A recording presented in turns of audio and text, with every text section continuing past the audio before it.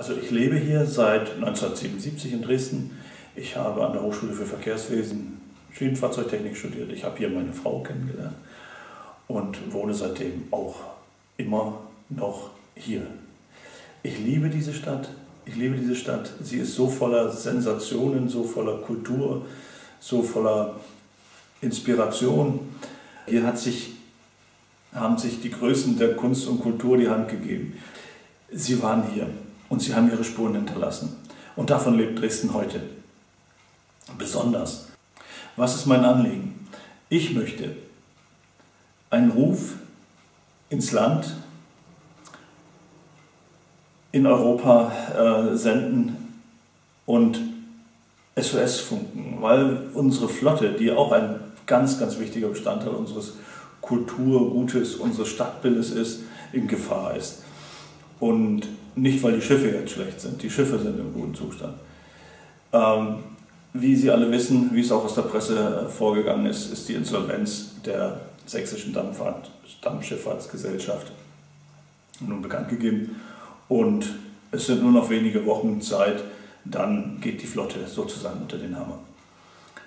Ähm, ich selber, und das ist eigentlich auch so die äh, Intention, ich selber komme aus einer kleinen Stadt in Mecklenburg-Vorpommern, wie es jetzt heißt, aus Mecklenburg. Ich komme aus Warnemüritz. Und wer sich da einigermaßen auskennt und wer da vielleicht schon gewesen ist, wird äh, sich auch erinnern können, dass es dort in Klink ein Ferienhotel gegeben hat, was äh, in meiner Jugendzeit ein kulturelles Zentrum gewesen ist. Da war ein Schwimmbad drin, da waren verschiedene Zirkel, kulturelle Möglichkeiten, da war ein großer Saal, wo Weihnachtsfeiern und ähnliche Dinge gemacht wurden. Also Klink war eine Reise wert. Ähm, dieses, dieses Fernhotel Klink ist nach der Wende dann den Weg aller gegangen. Sie wurde, es wurde privatisiert und ja, machen wir es kurz, heruntergewirtschaftet und dann kam das Ende 2017. Also ich sage mal so, der Sprengmeister hat verdammt gute Arbeit geleistet. Äh, Im Hintergrund können Sie praktisch hier diese äh, Aufnahmen sehen. Und ich möchte an der Stelle sagen, es ist weg. Es ist weg. W-E-G. Weg. Und ob da was Neues kommt oder irgendwas anderes kommt, äh, das weiß ich nicht. Und ich weiß auch nicht, wie es angenommen wird und dergleichen. Äh, ein Stück regionale Kultur im Sinne, wahrsten Sinne des Wortes ist verschwunden. Was mir eigentlich einen zusätzlichen Schmerz bereitet, ist, ähm, in der Region ist ein Stück, wiederum ein Stück Identität verloren gegangen. Und das ist eigentlich für mich die ganz große Gefahr, dass wir äh, momentan da richtig drunter leiden, dass uns bestimmte Dinge, mit denen wir groß geworden sind, was uns, äh, wie sage ich, begleitet hat, was eigentlich unsere Identität äh, gewesen ist, dass es verschwindet. Und das tut weh. Und ich möchte Ihnen einfach nur sagen, dieser Werdegang, der Privatisierung. Das, ist, das bedeutet privat. Privateigentum heißt, dass der, der dieses besitzt, natürlich auch dieses verwenden kann, so wie er möchte. Ich glaube, ich habe das irgendwo mal gelesen, ich bin jetzt nicht sicher, aber privat bedeutet, dass man das Recht hat, die Benutzung oder die Nutzung anderer auszuschließen. Äh, so, und jetzt spreche ich ganz besonders die Dresdner an. Liebe, liebe Dresdner, äh, wenn wir jetzt mit dieser Flotte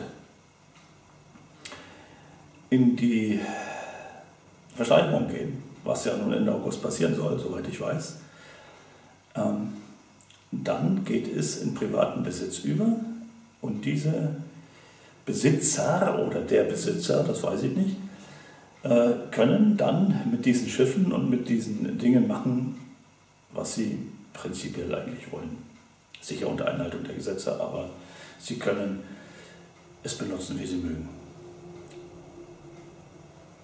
So, und nun kommt unsere Überlegung und unsere Intention. Ähm, wir möchten das nicht, weil dieses, diese weiße Flotte oder ehemals weiße Flotte, die sollte diesen Namen übrigens wieder haben, war ein, ist ein Teil, ein wie soll ich sagen, ein, ein, ein, Teil des Dresdner Stadtbildes, es gehört dahin. Stellen Sie sich mal die Brühlsche Terrasse ohne die Dampfer da unten vor. Was wollen Sie da haben? Ein, ein Tretbootverleih? Wo dann reihenweise Touristen untergehen, weil sie in der Strömung inzwischen die Pfeiler kommen? Und noch ist die Elbe nicht versiegt. Ja, es gibt eine zweite Möglichkeit. Das heißt, dass wir diese Schiffe in den Besitz von Dresden bekommen. Da gibt es verschiedene Varianten.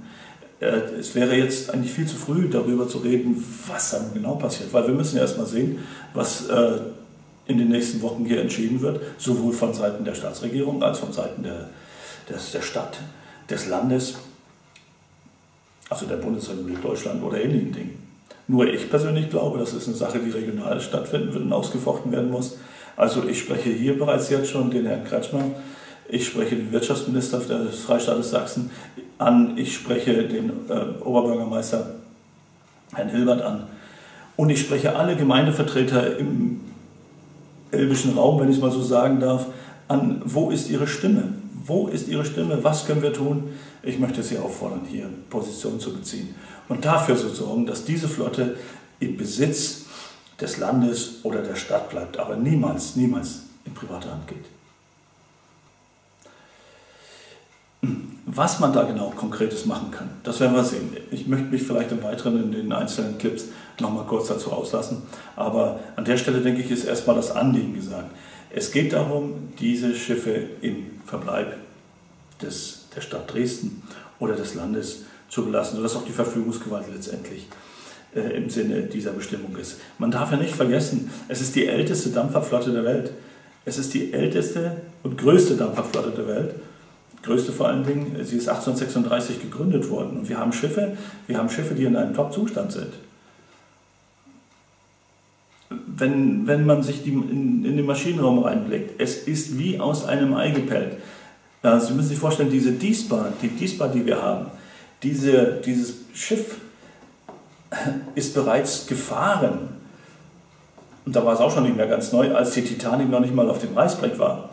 Entschuldigen Sie bitte, dass ich das Wort Titanic hier verwende, aber da hat man ja gesehen, wie man äh, aus einem, wie man, wie soll ich sagen, äh, ein unsinkbares Schiff auf einer Jungfernfahrt auf Grund setzen kann.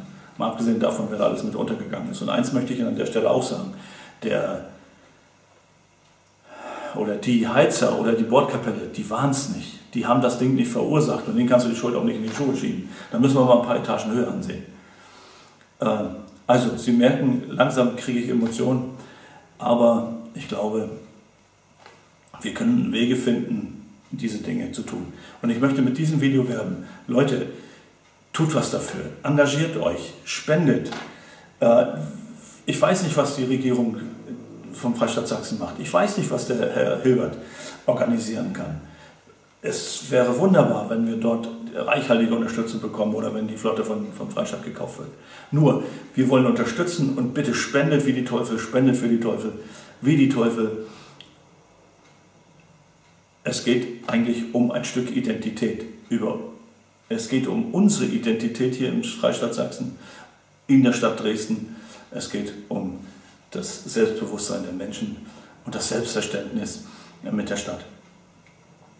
Das ist das, was ich Ihnen hier sagen möchte.